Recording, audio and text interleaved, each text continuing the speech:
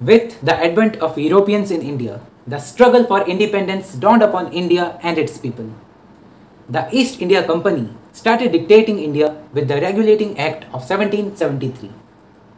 India's struggle for freedom is known to the masses and makes an important chapter in the evaluation of India as a free nation.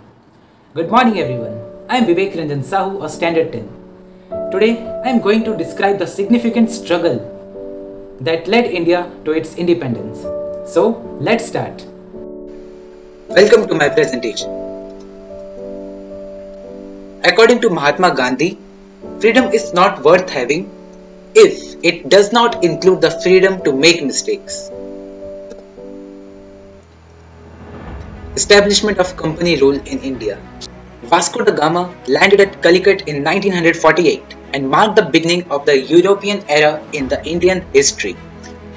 By the 16th century, the Portuguese had established their colonies in Goa.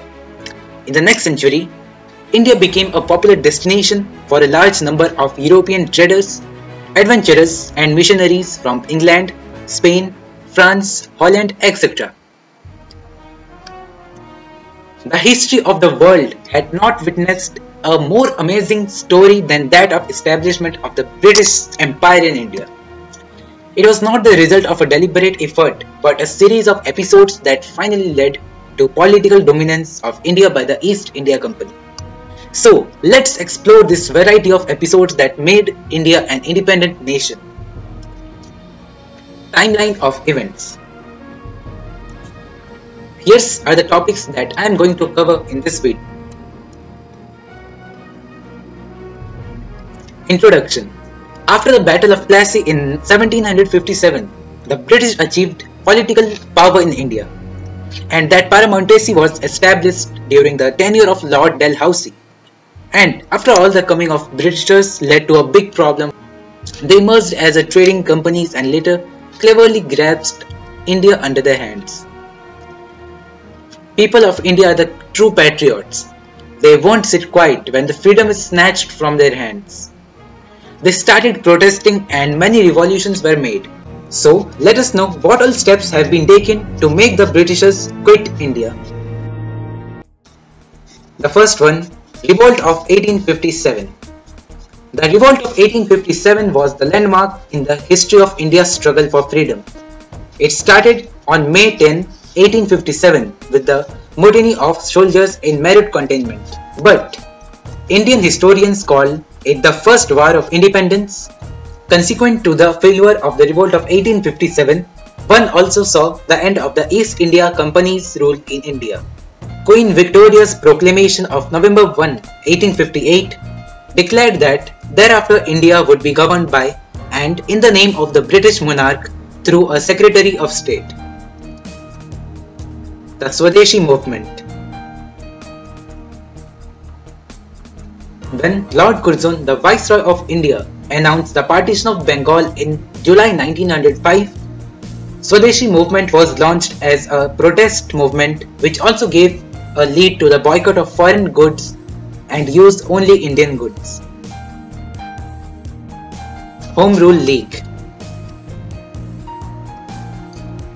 In 1916, an Irish lady, Mrs. Annie Besant, established the Home Rule League in Madras and Bal Gangadhar Tilak in Maharashtra.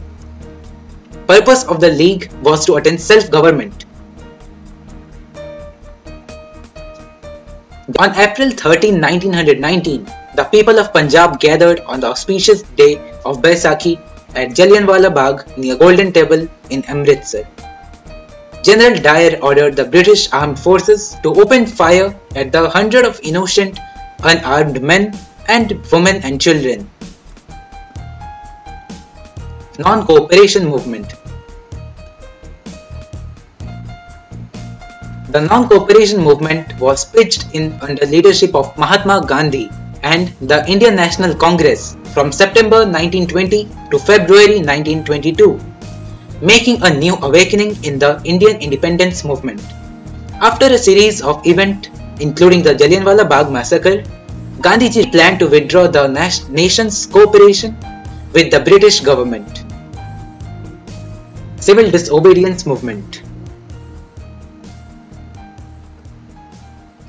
Salt. Salt is the basic requirement for every person. The British government had a monopoly on, on salt production. So, on March 12, 1930, Mahatma Gandhi began his epic Dandi March from Sabarmati Ashram to Dandi. He was accompanied by 78 supporters. They made salt from sea water and broke the law. Quit India movement. In August 1942, Gandhiji started the Quit India movement and decided to launch a mass civil disobedience movement, Do or Die, called to force the British to leave India. At last, on 3rd June 1947, Louis Mountbatten declared that they would leave India. Unfortunately, the Britishers left India by dividing the country into two parts. At midnight, on 15th August 1947, India was declared to be an independent nation. This is how India was before independence and after independence. This huge freedom was showed in many forms. These are some of the newspaper clippings to let the people around the world know that today India got its independence. And now we are in a free nation Freedom fighters are the reason we live in a free country. Today's independent India was the aim of every freedom fighter. They, they will always be memorable for their patriotism and love for the country. We pay our tributes to all those people who laid down their lives in an attempt to liberate India from the clutches of British imperialism. At last, but not the least, according to Chandrasekhar Azad, don't see others doing better than you. Beat your own records every day. Because success is a fight between you and yourself. Thank you very much. Jai Hind.